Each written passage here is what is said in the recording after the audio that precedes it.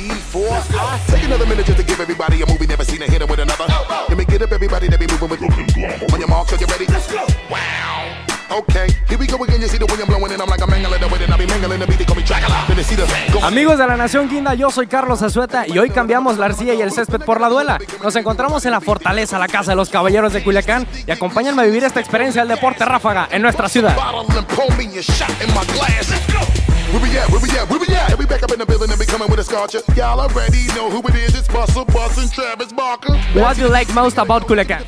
Um, I like a lot about Culiacan. The, the city, I like the city. I like the seafood. So this is great. The seafood here is great.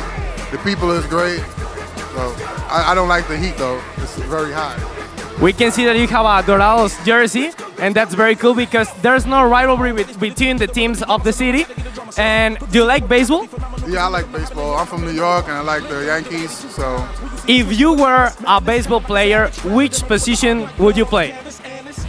Uh, maybe I want. I, I think I would want to be a pitcher. A pitcher, that's very cool. And can you say, vamos con todo? Vamos con todo.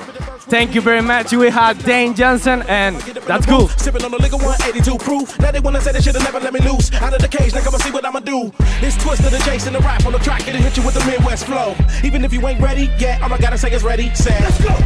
Recién llegamos y nos encontramos una sorpresa bastante grande y es que está toda la porra guinda con nosotros. Pero cuéntanos, ¿qué haces aquí? Bueno, pues aquí andamos trabajando también como caballerita. En las dos me divierto mucho, en las dos trabajo muy a gusto y pues las dos. La verdad no tengo preferencia.